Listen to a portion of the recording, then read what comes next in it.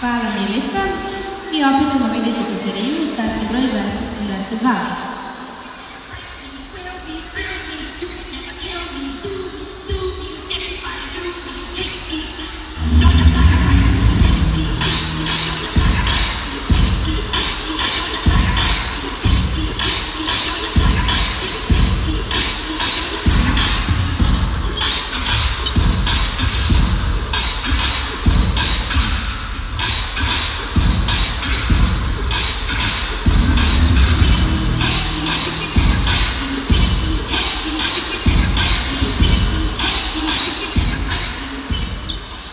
发了通知往